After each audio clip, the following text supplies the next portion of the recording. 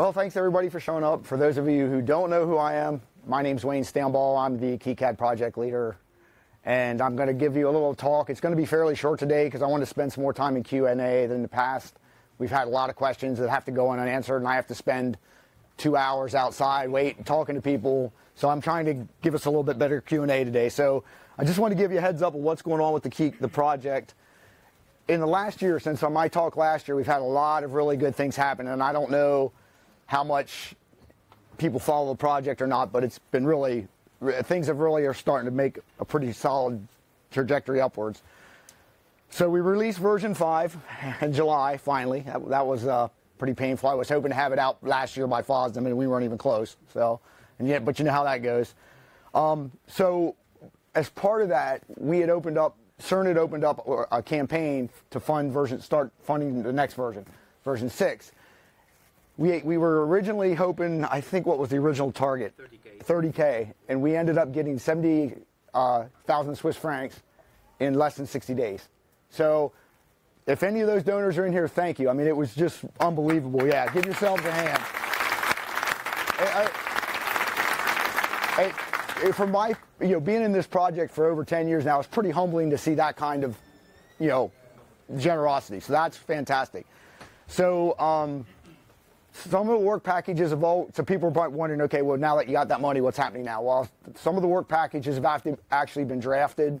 So the way we work it is through CERN is we create a work package, then the, the developer, usually we, we don't have a, we really don't bid in the classical sense that, yeah, here you go do it, because there's only a handful of developers that can really, really get, yes, actually dig around in the KiCad code base because it's rather large and it's rather complex. So there's a handful of people that can fulfill those packages, and some of them have already been assigned and, and metered out. So talk a little bit more than that, a little bit more about that later. Um, but on the donation front, there's been a lot of interesting developments. Our friends at Aisler have, yep, there they are, they're here. The, yeah, the, the, gentleman who did the last presentation, he's also part of Aisler. Um, they're um, donating every board order they get that has that's with a KiCad file with a known key, like you send it send them your Pcbnew file. Um, they make a donation for every order that you that you order from them with KiCad, and it goes directly to CERN, and it's set up and it's all automatic. And they've also added an extra link on their website, so when you place your order, and if you want to donate at the same time as you place your board order, that also goes directly to CERN to the KiCad Foundation. So, thank thank you, Aisler, for that. Um, I don't know how familiar Europe is with the System 76 people, but System 76 is a U.S. Uh, Linux. They're, they're, a big Ubuntu um, uh, uh, computer maker, and they do laptops and desktops, and um, you know they they basically always bought pre-made hardware for their you know like like a lot of resellers do. Last year, they decided they were going to do a new desktop called Thelios, and I don't know if you've seen them yet, but they're very cool. They're very neat. If you get a chance, go to their website and look them up and they took they gave us a percentage of a, they decided to donate to um, four open source software projects that they use in house to do their to you know run their business. And last year, between I think it was like November to the end of January this year, their total sales, and I haven't heard what that amount is yet, but they're going to take a part of that and donate to KiCad as well. So that's really good news. Um, they gave and they created this quirky little promotional video. I don't know if you've any anybody's seen it, but there's a link to it there that has KiCad in it. And on another person who wrote, there's a gentleman who wrote a book called KiCad Like a Pro with a company called Tech Explorations. He's also going to donate for every every every sale of the book. He's also going to donate a percentage of the proceeds to the KiCad through CERN. That's in the final because it takes a bit to get the routing done and whatnot. That's almost uh, in the process of being approved, so that should be done soon. And of course, there's the never-ending like improvements in our symbol and footprint and model 3D our 3D model libraries. I don't know how many of you use KiCad directly, but if you look back, if you go back and look at our, our libraries at four, and you go look at them now, I mean, think what is our library up to? Like five gigabytes, six gigabytes a download? It's really, it's yeah, it's it's really and they're really high quality. We have some people that are really, really, really. In fact, there's more contributors to the library. I think the library developed the library group than there is source you know, the actual source developers. So it's really phenomenal what's going on there. This year, uh, about a year, about two years ago, we had a couple of new developers that joined the project and they got up to speed really fast and did a lot of contributions. So for the first time in a long time, I've actually get, given three developers commit access, commit privileges to the, the, the main source repo in KiCad. And that's really helped move development along really quickly in the last year. It's been pretty phenomenal. Um, we also have new developers. We have a lot more people like at the fringes. You know, I see patches from people I, that I don't recognize, so that's really encouraging. The, the interest to, to help contribute to KiCad keeps growing. For those of you in the U.S., and if you haven't heard this, in the U.S. in April, April 27th or 26th and 27th in Chicago, there's going to be the first ever KiCon. There's going to be a conference, and it's going to be user user focused. It's not going to be. I'm not going to be talking. I, I don't think I'm going to be talking to developers. Um, so if you're if you're interested, to, you get a chance to go to that. I think it's going to be really good. The people that are helping to run it, uh, Chris Gammell, and some of the other folks that live up in the Chicago, in that the Great Lakes area, they uh, really it looks like they're going to have a nice thing. And so far, we got DigiKey as one of our primary sponsors.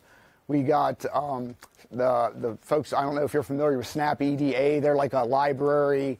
They provide library tools for our friends at Aisler. Yes, our friends at Aisler also. I, I saw you up there. Um, so yeah, we're all looking forward to that. It should be interesting, um, and that'll be like two days of um, you know personal experience. People who use KiCad on a regular basis.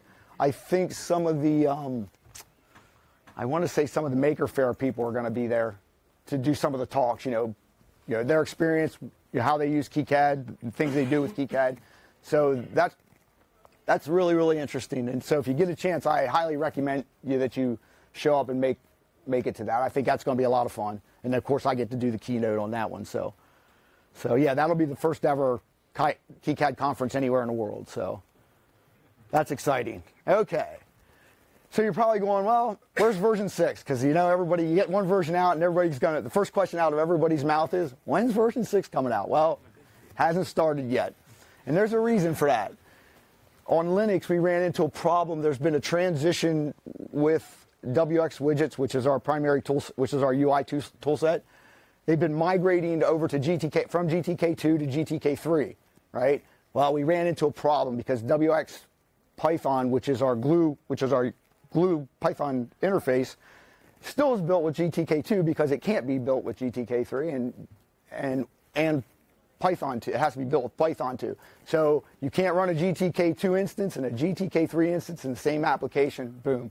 So we I had to make a decision. It wasn't one I wanted to make, but we're going to have to fix it. So that's that's why we're getting a version 5.1, and that's going to be that's what drove that. Um, so what drove the other problem with that was GTK3. Their standard canvas is completely broken. Not it doesn't work at all. So we were completely screwed. So if you use the legacy canvas, if you're familiar with KiCad and use the legacy canvas, like in the, the board editor, the schematic editor, the graphics are complete junk. And so we were like, ah. So we had to port the graphics, the high-end graphics library from the, P, the board editor to the schematic editor. That's already done. It's been done for a while. Um, so we had to disable the legacy canvas because it would be useful. We get, a you know, bug reports. When that first transition first, first took place, the bug, you know, the bug tracker was just flooded with the same bug report, basically. Um, we had to modify the Python scripting to support 2 and 3. Before we only supported 2 because we only had to. WX Python only supported Python 2, but the new Phoenix project, which is the next evolution of wxPython, only supports 3. So now we have to be able to build with 2 and 3 and all the different combinations of WX Python, WX, wxWidgets, and GTK2 and GTK3. Uh, it's a mess. So um, we did the, we updated uh, the uh, there's been a lot of UI interface changes, which is um, you'll notice that the footprint editor now looks like the symbol library editor, where you have the pane on the left and all the you know all your footprints show up, and you can edit it. It's very similar in design because we had the five transition, we had the leftover, we had the new design in the schematic symbol editor, the old design in the footprint editor, and that's been fixed. We switched to Cairo for printing. We get a little bit better quality. Um, printing for, so that was a big change. Um, the usability. I can't under. I can't uh, overstate the UI changes. Uh, we, we one of our new developers is a ex Adobe. He's a retired Adobe employee, and he's a UI guy, and he just bangs out code like. Yeah, he makes the rest of us look bad. He's really been. So the UI, if, if, if nothing else, 5.1 will be compelling just for the UI changes and the fixes. It's really significant. I mean, even though there's no new functionality in there, it's just the whole feel of you know he's basically the whole you know the whole suite of you know, dialogues and how they behave. It's, and so you know, it's a lot more coherent than it's ever been. Which, if you use KiCad, you know that's not always been the case. Well, I mean, it's you know you got 20 different people over 20 some odd years doing. It's just how it works. That's how it works, and it's not. We're not the only open source project that suffers from that problem. So, and we had improved clipboard support, so now it's more like your normal cut, copy, paste instead of the old way we did it. It's still, it's still, we still don't do a lot of copy and paste between the different editor editors. There's, because that's a tricky proposition. Because some things you can't paste from a footprint editor from the board into the footprint editor because some of those things don't mean anything to the footprint. So we're going to work on that in version six. So we feature freezed. We did the feature freeze in December, and we were tantalizingly close to getting RC1 out. I was really wanted to have another bullet here that said RC1's been tagged and released, but it didn't happen because there's one bug left, and he's sitting up there that nobody can figure. And he's got the only computer. He's got the only computer, and I wouldn't have believed it if I wouldn't have seen it with my own eyes. But we're, we, yeah, we I spent some time this morning and it didn't fix it. So you get that one. That's the last. That's the last showstopper that's holding up the um, the 5.1 RC1. Then after RC1's released, I'll give the uh, translators and our librarian guys, you know, chance to get their, their last minute changes in and get everything ready. So hopefully, hopefully, if nothing too egregious goes wrong, we should be late at the end of February, beginning of March, 5.1 should be rolling out. So, so that's kind of exciting. And then once, once we branch 5.1, then the, the main repo will be open for version 6 development. And because I know there's quite a few people that have some significant changes and features that are, are actually ready to merge. It's just, I don't, it, I don't want, if I open the merge window up, everybody will forget about getting this done and we'll go work on 6 and then we really need to get this out and get it done. Just, just because I don't want our Linux users to be, have half key, we, we could give them like half a KiCad and I don't, I didn't think that was a good option, so I made the decision to postpone V6 development. So that, that's on my shoulders, but I think it was a good decision, at least the way I see it. I'm not going to talk too much about version 6. I've talked about that before. You can always go to the KiCad website and see the roadmap, the V6 roadmap. Some of that stuff's already been pulled into, v, like the, the graphics layer, that was actually pulled in to fix the problem. So some of that's it's a little out of date, but most of the most everything else that's going to happen in, v, in version 6 is um, already, already defined. So, and just I want to say thank you again. Uh, I'd like to thank every to everybody who contributed to KiCad, whether it's I mean whether it's libraries, um, translations, source code. There's a lot of people that actually work on KiCad that you know make it work. It's a really big project. People don't I don't think people realize how many how much there is involved in all the like the packaging, the you know the guys who maintain our server, our build servers, all that stuff. A lot of work goes on behind the scenes. I mean, I might be out in front of everybody here, but there's a lot of people that make that happen. And once again, thanks to everybody that donated. I mean, like I said, that 70k Swiss francs was huge. I mean, I'm not can't I can't overstate that enough. Um, thank you for your interest and support. I, you know, we keep growing the number of report. I get a lot of reports from people, um, board vendors, that tell me that the number of orders they get now from KiCad is really like OSH Park in the United States. That I, I know some of their their guys, and they tell me the number of orders, you know, board orders they get that are key, direct KiCad order, you know, because you don't have to convert everything to Gerber. You just send them your board file, and it they they they produce your boards from the, right from the KiCad and the number just keeps growing and growing. So we're definitely making inroads, um, and that's really that's the goal. The goal is to keep moving KiCad. I'm an engineer, so if people don't know that, I'm a double E, right? And the reason I work on KiCad is I actually use KiCad in my day job, right? So it is capable. And if you don't haven't seen, if you don't believe that, go look around some of the really complex projects that people are doing. I mean, really complex stuff. You know, we have a guy that wants us to go above 30. He has a 32 layer board, and he wants us. Right now, that's our limit. We have 32, 32 copper layers. Let me let me clarify that a little bit. He wants to do more than 32 copper layers. so I mean, it's serious. It's serious. I mean, so yes, we're we're we're. Are we on par with the big players? No. But every every version that comes out, every new version, six will, six will close a lot of the feature gaps. You know, so we're just you know we're just marching along. We'll get there. I, we're going to get there eventually, but it's definitely something that you can really uh, make happen. Use to uh, if you're a, if you're an engineer and you need a board layout, you you know especially if cost is because I work for a small company, so cost is a factor, and almost all the big players in that game now are very very. It's expensive. It's really really expensive to you know, buy by board development suites. You know, if anybody works in the commercial world, they know what I'm talking about. Um, I also like to thank CERN and Javier for setting all this up. This wouldn't happen without them, so thank thank you to them for setting it up. So.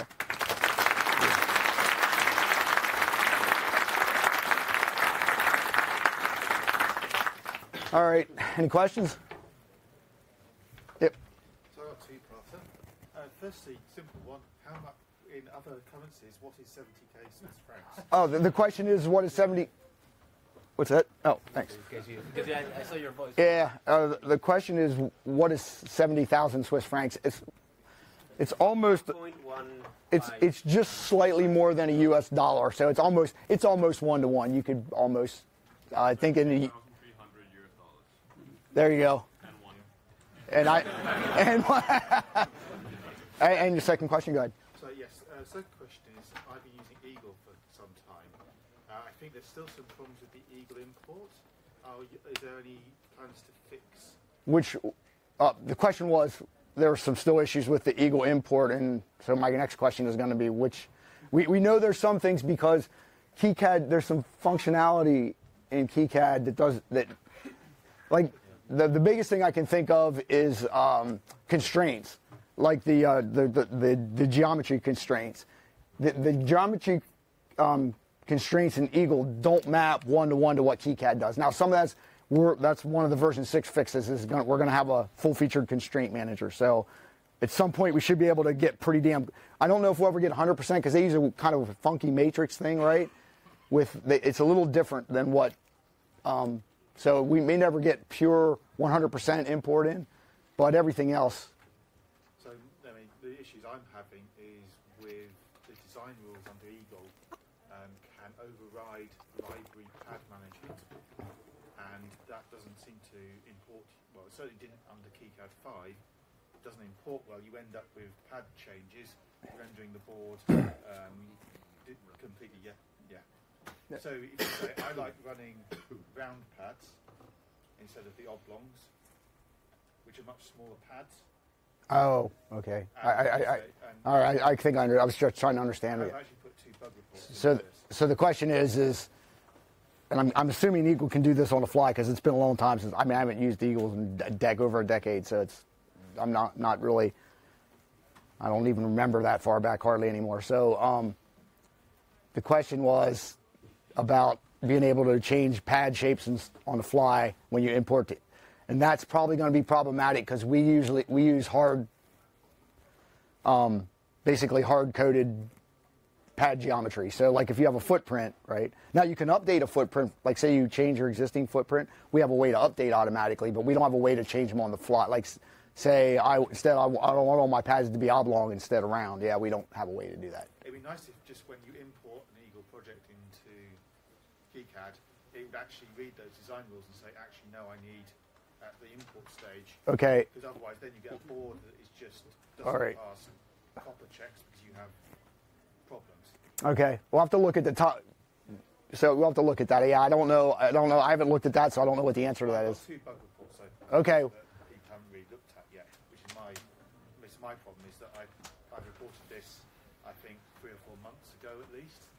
Yeah, well, I haven't. I have to talk. Yeah, I don't do much work with the Eagle importer, so that's not my my exact straight, strong point. So, uh, uh, well, yeah, the answer is uh, there is no PCB application that cater for all the possible DRC constraint systems.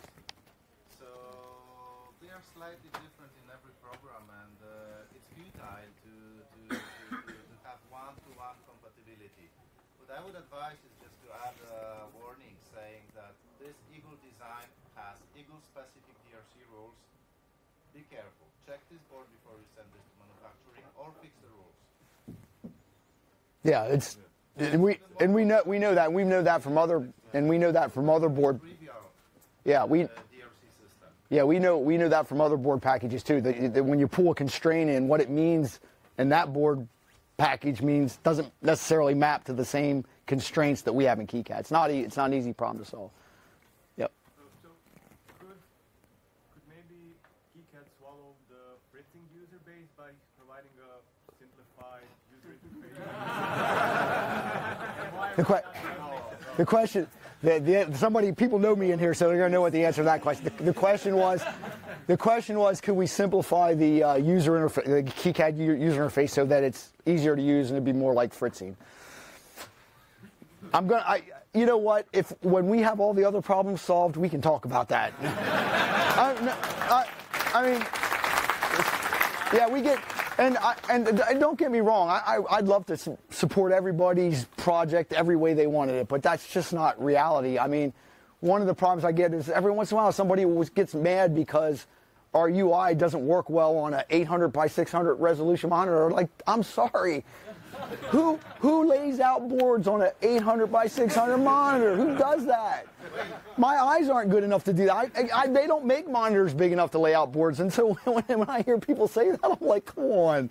So yeah, I mean, I, I get it. I get it. If there was some way it was easy to make you know make all those like different configurations work, but it's yeah we got to me that's like when okay when we got all these features done and we're on par with the big guys okay we can go back and revisit that but i think we got a lot of work to do before we get to that point so uh, yeah go ahead I saw long ago a very entertaining by, Shading about uh, moving from Launchpad to uh, to GitLab. Any talk about that? Uh, okay the, the question was the question was um, moving from right now the, the source the, the question was moving from launchpad to git gitlab right Yeah. O- Okay. There's, um, I didn't talk about it, and I probably should have. There's currently, we are in the process of migrating um, the KiCad servers. I think the web server's done. Correct me if I'm wrong. Who's, yeah, yeah. So we're migrating to CERN servers. Okay. So the website's done. Is the, are the downloads, are the package downloads done too? Yeah, they're, they're available. I think we need to reconfigure some of the build patches so they upload to the new servers instead of the old ones. Uh, yeah, okay. and part of that discussion was at some point in the future. Because one of the problems right now, if you don't know, you know, KiCad, the source is still in Launchpad with with that. I mean, we use Git, but it's Launchpad's supported Git isn't necessarily the best. Um, so we're, we're there with that's where our source is, and of course, like the libraries are all in, in GitHub. And so for me as a project manager, because I got to interface with all those different just separate groups, it actually makes more work for me. So the whole the, the, the end goal is to get all that in a GitLab instance somewhere. And so that's just going to take time, you know. But yes, that has been talked about, and it's it probably will happen at some point when you know we just one step at a time. We just got to, you know, I don't want to try to, you know, I don't want to create a lot of work for, you know, because that's something I don't do. So that means it's work somebody else does, and I really don't want to, you know, bury somebody and just on a whim say, hey, we're just going to totally migrate to GitLab tomorrow, and that's not very realistic. But I think it'll happen. Yeah. Yeah. There some list where people can have local support or so, so get a head start? I, I design PCBs for 15 years with Eagle, but uh, to, to switch on, I would like to have a head start. Some get, get, go to somebody with some problem and talk together and, and see how he works. Okay. The, que- the question is: Is there a list you can go to for? I'm assuming you mean user support or help. Yes, there is. The, the there's the KiCad info. There's a there's a forum and it's pretty heavily, it's pretty big.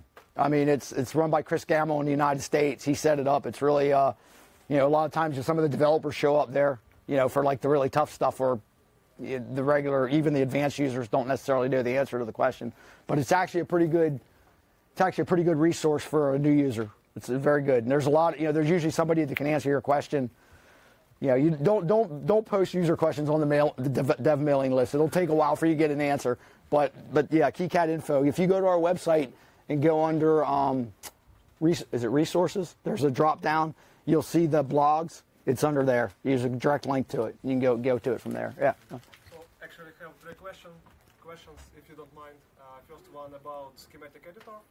So uh, right now, when we are connecting components in schematic editor, we need to really think before to think when we place components before we only have rubber band connection, right? So if we try to drag components like uh, uh, when we al- already connected them, it's uh, we basically need to remove all connections and do it Rubber band. It, yeah. So do, do you have any plans to implement like right angle connections when when you drag components? Yes, the question is, are we going to get rubber banding support? I think that's in six, isn't it? Yeah, it's in the roadmap, the six roadmap. So we have plan on some. We have plans to have somebody work on that. When when that happens, uh, you know, and I don't know. You just uh, you, you just use the stable version, so you're using 5.0.2. Yeah, yeah. Okay, so if you know, one of the goals of KiCad, if you're not aware, is I make a really strict point about making the nightly builds as you as stable as possible. I, we don't like. I'm not like let's just dump everything into the repo and let's go and nothing works. Um, I, we don't do that, and I never let that happen, and I don't know that I ever will. So, because if you want people to really help you test, you have to have a reasonably usable nightly build. And so, a lot of people, in fact, at work, I use I always keep a stable installed in case something goes wrong. But I pretty much use nightly builds every every when I, at my job. So in, uh, in Okay. version six, I can expect those uh, right angle connections to appear. Right? ye- yes. So second question about uh, PCB editor. Editor. Uh, I just noticed that in uh, 5.0, um, free router integration buttons disappeared. So like in uh, KiCad uh, 4, uh, there were some buttons in PCB editor, Pcbnew buttons for integration with the free router. Right? So those buttons just disappeared. So Okay, your free router. Your, okay, the question was what? Question. The, the question was what happened to the free router button? The reason the free router button went away is because basically that interface that we used for free router went away.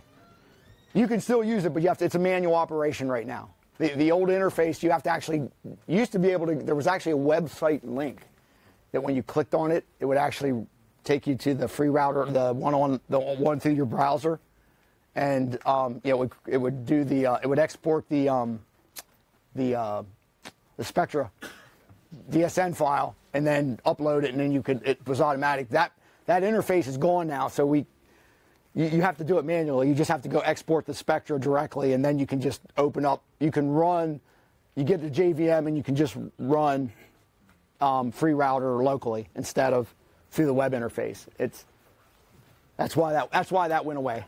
Okay, sorry guys, we need to move on with the program.